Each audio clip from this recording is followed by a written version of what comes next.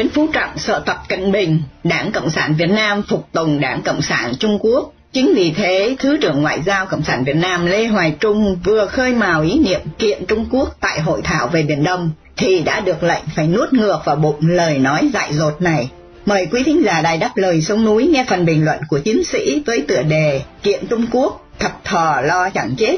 Thứ trưởng Ngoại giao Cộng sản Việt Nam tại hội thảo về Biển Đông từ ngày 6, ngày 7 tháng 11 năm 2019 ở Hà Nội ám chỉ sẽ dùng công cụ pháp lý đối với Trung Cộng. Tuy nhiên, phát biểu này hiện đang gây nên một khủng hoảng truyền thông ở trong nước. Điều này gợi nhớ lại chuyện một anh chàng cù lần nọ bị cướp vợ, nhưng do đầu óc lú lẫn nên chẳng dám làm gì. Nhờ học lỏm được mấy câu của người khác, nhại lại đúng chỗ, khiến thiên hạ tưởng anh này hết ngốc, cả nể và anh ta được trả lại vợ. Nhưng cái kết cục ngoài đời đối với việc kiện Trung Cộng về Biển Đông sẽ không thể kết thúc có hậu như trong chuyện cổ tích chàng ngốc học khôn nói trên. Bộ Ngoại giao Việt Nam đã bỏ ra khoản kinh phí khá lớn để tổ chức hội thảo khoa học quốc tế Biển Đông suốt hai ngày trời về một đề tài còn nóng hơn cả cái chảo lửa, đó là hợp tác vì an ninh và phát triển khu vực. Đây là một cuộc gặp mặt kỷ niệm 11 năm hợp tác giữa các chuyên viên thượng thặng về Biển Đông với nội dung khá phong phú như vậy, mà truyền thông hầu như bị gạt ra ngoài rìa, đủ thấy quyền thông tin của người dân mong manh đến giường nào. Dù sao, so với các cuộc họp từ năm 2009 đến nay thì phải thừa nhận dư luận quốc tế năm nay có những điểm thuận lợi hơn cho Việt Nam.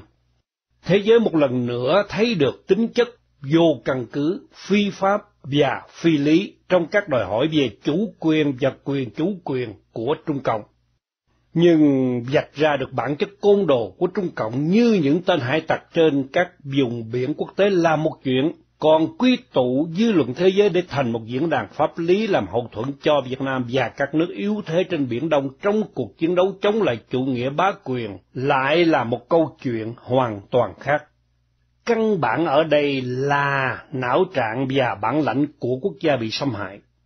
Một khi Cộng sản Việt Nam vẫn duy trì cái chính sách ba không và khư khư giữ cái đại cục bế quan thầy, đồng thời vẫn coi Hoa Kỳ là đối tượng tác chiến trong học thuyết quân sự, thì Trung Cộng hẳn nhiên nhếch mép cười rùi và chấp cả chục lần cái kiểu phát biểu như của Thứ trưởng Lê Hoài Trung.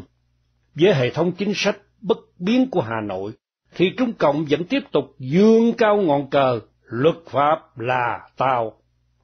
Cũng lạ là ngay đến cả cái ám chỉ rụt rè của Thứ trưởng Trung vẫn gây ra được một cơn bão trong cọc nước. Nhưng khi được báo chí trong nước đôn đáo chất vấn, thì hình như chính vị Thứ trưởng Ngoại giao này lại đính chính rằng ông không hề đề cập đến chuyện khởi kiện Trung Cộng.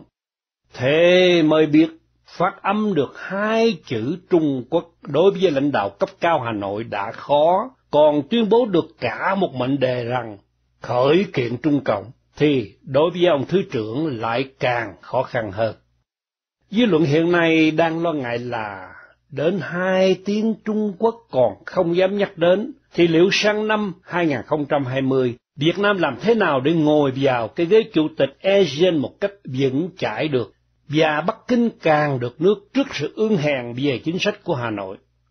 Cứ xem cách phản ứng của đại diện Trung Cộng tại hội thảo thì rõ, khi các đại biểu chất vấn về thái độ coi thường công pháp quốc tế của Trung Cộng trên Biển Đông hồi mùa hè qua, thì trong trả lời, đại biểu Bắc Kinh lại huyền thuyền về triển vọng của bang giao Trung Mỹ. Còn phát ngôn viên của Bộ Ngoại giao Hà Nội ngay hôm 7 tháng 11 là ngày hội thảo kết thúc vẫn né tránh khi phóng viên hỏi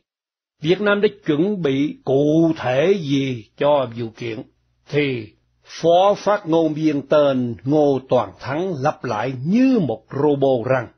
Việt Nam sẵn sàng cùng cộng đồng quốc tế đóng góp tích cực vào duy trì trật tự hòa bình, an ninh khu vực, an toàn, tự do hàng hải và hàng không, tôn trọng nguyên tắc thượng tôn pháp luật ở Biển Đông, phù hợp với luật pháp quốc tế trong đó có Công ước của Liên Hiệp Quốc về UNCLOS 1982. Rõ là ông hỏi gà, Bà lại trả lời Việt, Bia cũng chẳng cần đợi lâu. Ngay khi các quan khách chưa rời Hà Nội, Bắc Kinh đã tố ngược Việt Nam là xâm lấn vùng biển Trung Cộng. Bắc Kinh kêu gọi Hà Nội không nên làm phức tạp vấn đề Biển Đông. Lời tố cáo ngược này được đưa ra ngay sau khi Thứ trưởng Trung chỉ mới hàm ý Hà Nội không loại trừ khả năng kiện Trung Cộng. Phát ngôn viên Bộ Ngoại giao Trung Cộng là Cảnh sản hôm 8 tháng 11 khẳng định rằng cốt lõi của vấn đề Biển Đông là việc Việt Nam và các nước có yêu sách khác đã xâm chiếm và chiếm đóng các hòn đảo của Trung Cộng.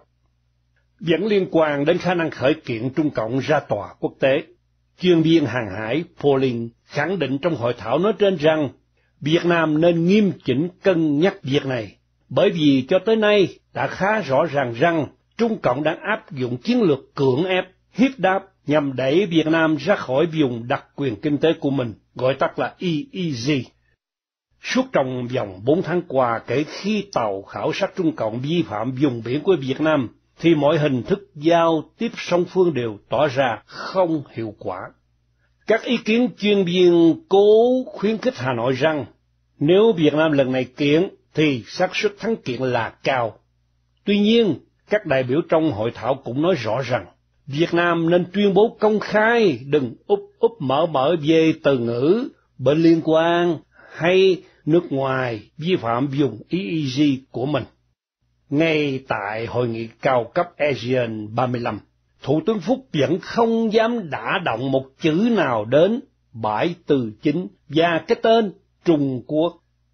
Trước thái độ đó của người đứng đầu chính phủ Việt Nam Cộng sản, chúng ta có thể khẳng định được rằng đã chẳng có bất kỳ ý kiến nào từ các nước ASEAN bày tỏ ủng hộ Việt Nam, bất chấp Việt Nam sẽ là chủ tịch luân phiên của khối này vào năm 2020. Kính thưa quý thính giả, với giả tâm xâm lăng Việt Nam cho bằng được, nên Tàu Cộng đã dùng mọi cách, mọi thủ đoạn để cả thế giới và ngay cả công dân Việt Nam phải quen thuộc để chấp nhận sự nuốt liếm của chúng qua đường chính đoạn phi lý láo xược. Trong tiết mục chuyện nước non mình, mời quý vị theo dõi bài viết Đường lưỡi bò len lỏi khắp Việt Nam. Vụ trường Đại học Kinh doanh và Công nghệ Hà Nội sử dụng giáo trình tiếng Hoa có in hình bản đồ đường lưỡi bò, sau hai năm mới phát giác cho thấy ý thức bảo vệ chủ quyền của những người có trách nhiệm tại Việt Nam rất kém, và qua sự kiện lần này, một lần nữa cho thấy kế hoạch tuyên truyền đường lưỡi bò trên Biển Đông của Trung Cộng rất tinh vi. Từ bộ phim hoạt họa Everest, Người tuyết bé nhỏ, Abominable có đường lưỡi bò được trình chiếu trên rạp công khai, đến bản đồ đường lưỡi bò được phát tại hội chợ du lịch, đến xe Volkswagen nhập về Việt Nam có cài bản đồ hệ thống định vị, rồi đến sách giáo khoa có in hình đường lưỡi bò được giảng dạy trong suốt hai năm trời, nhờ sinh viên thông báo mới phát hiện ra, cho thấy điều gì? Thứ nhất, tâm lý coi chuyện chủ quyền Biển Đông là chuyện nhỏ của lãnh đạo Ba Đình đã được thấy qua thái độ và sự quan tâm của các quan chức trong các lĩnh vực văn hóa, du lịch, giáo dục. Quân đội, quốc hội, bộ chính trị còn lo bỏ súng bám bờ, hợp kín về Biển Đông, chủ trương giữ gìn đại cục, thì tội gì mà chúng tôi, các công chức lãnh lương làm theo chỉ đạo, phải chú ý bảo vệ chủ quyền. Khi người dân Việt Nam mặc áo nô du phản đối đường lưỡi bò bị bắt, bị đánh, bị vu vạ là phản động, thì du khách tàu nghênh ngang quảng bá đường lưỡi bò ngay tại phi trường Cam Ranh.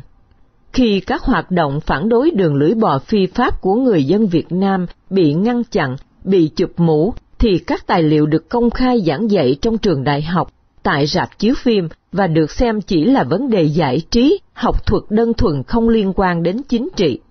Thứ nhì, chủ trương tuyên truyền ảnh hưởng của đường lưỡi bò của Bắc Kinh là một kế hoạch xuyên suốt và tinh vi qua từng thời kỳ. Từ phát tờ rơi tặng khách thăm viếng du lịch, đến cài bản đồ vào hệ thống định vị xe hơi, hay in vào giáo trình tiếng Hoa và tiếng Nhật để tặng cho trường đại học kinh doanh và công nghệ cho thấy chỉ có ba đình lơ là trong việc nâng cao ý thức bảo vệ chủ quyền, còn quan thầy của họ là Bắc Kinh không một giây phút nào từ bỏ giả tâm bành trướng. Thứ ba, công cuộc bảo vệ chủ quyền toàn vẹn lãnh thổ bây giờ là nhiệm vụ của nhân dân chứ không phải của các quan chức lãnh đạo. Ba tháng trước, nhóm tàu Hải Dương địa chất tám cày nát vùng đặc quyền kinh tế của Việt Nam và Ba Đình tiếp tục thỏ thẻ bảo vệ chủ quyền trong trật tự hòa bình. Nhóm tàu này vừa rút đi tại hội nghị cấp cao ASEAN, Thủ tướng Nguyễn Xuân Phúc vừa mở miệng lên tiếng, cần bảo đảm an ninh trật tự ở Biển Đông, thì Bắc Kinh cho ngay hai tàu Hải Dương Thạch Du 618 và 620 vào sâu trong vùng đặc quyền kinh tế tại Vịnh Bắc Bộ của Việt Nam để khảo sát. Tàu đến rồi tàu đi, ai cũng biết mục đích và tham vọng của Trung Cộng. Chỉ có ba đình trong vũng nợ ngập mặt, chẳng dám bày tỏ thái độ gì vì sợ mất mối vay 500.000 tỷ sắp tới. Không cần phải đợi đến năm 2020 để thấy các cam kết tại Hội nghị Thành Đô 1990 sẽ trở thành hiện thực. Ngày hôm nay tại Việt Nam, dưới sự kèm kẹp đàn áp của bộ máy cai trị Ba Đình, kế hoạch xác lập đường lưỡi bò trên biển của Bắc Kinh đã dần dần trở thành hiện thực khi chính các quan chức lãnh đạo coi việc xâm phạm chủ quyền trên tài liệu tuyên truyền là chuyện đơn giản.